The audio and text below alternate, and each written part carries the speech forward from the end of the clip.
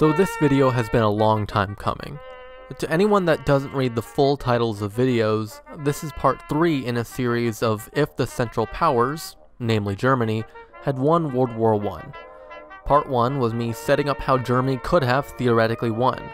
Part 2 was me outlining the Treaty of Geneva, the fictional peace treaty based on the real world demands that the Central Powers hoped to achieve after the real World War I and part 3 here is a general explanation of what the world would look like in the years following the end of this fictional World War I. This video is going to be a little bit shorter than the first part and the second part, just because this is trying to wrap everything up a little bit, and most of the focus was on the first part, which was the war, and the second part, which was the treaty. I would recommend you watch part 1 but you at least need to watch part 2, because I'm going to be talking about a lot of things, assuming you've already watched through it. Alright, I'm going to assume you've watched it, and we're going to move on. So, in the last video, it may have seemed like those demands were a bit ridiculous, and they honestly were. But that's also the point.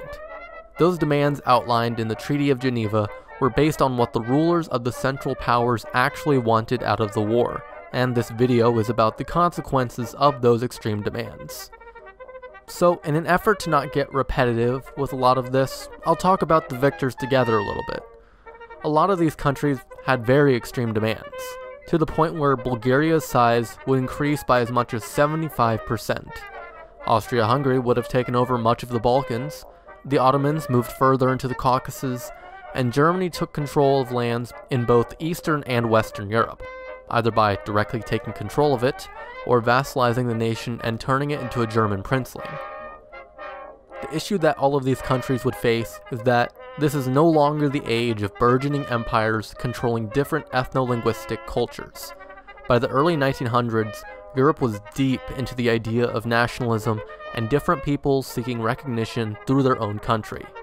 There wasn't a lot of love for the idea of being subjugated by some larger power. Austria-Hungary and the Ottoman Empire were already struggling, so adding new land to their domains would do nothing but accelerate their rate of decay. Austria-Hungary was already dealing with rebellious Serbs, so taking in the rest of Serbia would just make the problem better, right?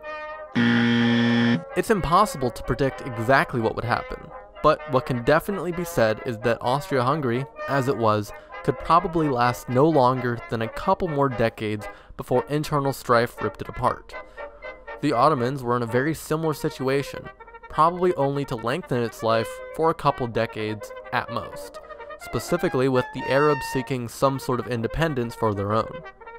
With the Ottomans, it can be said that the Republic of Turkey today is the living embodiment of the Ottoman Empire's best case scenario, and that's basically where I stand now, except maybe with the Sultan staying in power of an Ottoman Empire that physically resembles the Republic of Turkey but it's hard to say what would happen in the ensuing chaos of a crumbling empire.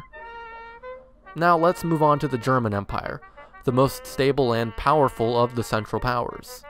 Because of this power, the Germans were in probably the best situation to handle their newly conquered lands. But they also had the most to deal with, so their ability to succeed is just as questionable. The Poles, who had been directly integrated into Germany, and all the newly formed vassal states in the Eastern Front would likely be none too happy about the situation they were finding themselves in. Along with this were the problems they would face with forcing France into a semi-subservient state and vassalizing Belgium. All of this is a lot to handle on its own, but that's not where the problems would end. Britain, being largely untouched by the war, at least in comparison to the other countries, would be in a much better place to support resistance to German rule. Them, alongside America, would very likely be supporting rebel factions and insurrections all across Europe to fight German control. One of the largest fronts of German versus British American resources would be in Russia, where the Civil War would still be raging. The Germans, even though responsible for placing Lenin in Russia and ultimately starting the revolution, would be happier with a friendly monarch on the throne than a communist state right next to them. Any nations that oppose Germany, while certainly not communist sympathizers, would likely rather see a counterbalance to German power than another monarchy that would support German ambitions in Europe. So it's very possible you could see the strange scenario of Germany supporting White Russia and Britain and America supporting Red Russia.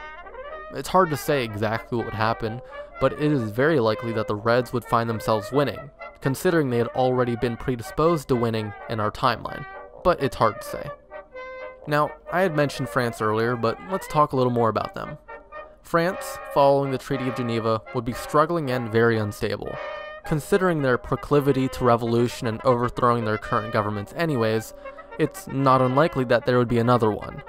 Following any sort of rebellion would be a struggle for power, and this is where the German Empire would see an opportunity to have a friendly monarch placed in power and would probably be working hard to have that be what happens. Fighting against them would be communists, socialists, nationalists, republicans, either working for their own interests or together, again with the help of Britain and America. Because of France's tendency to swing between republic and monarchy, it's very likely that monarchism would win out and Germany would be able to have someone take power that would generally be okay with the Kaiser sticking his nose in France's business. In the end, this is a very tricky scenario to look at holistically, because there are so many different aspects to it. Of course, you would have separatists and rebels all across the newly conquered lands, and you would have foreign powers supporting them. But those countries only have so many resources to be supporting rebels across Europe, just like Germany only has so many resources to be fighting all these rebels, before having to concede defeat in certain areas. Now, a big question is, would this lead to another world war? Probably, and considering there was a fair bit of luck required to have Germany win the first one, and a lot of time, money, and manpower would be spent in trying to control these newly conquered areas, it is very unlikely they would win another one.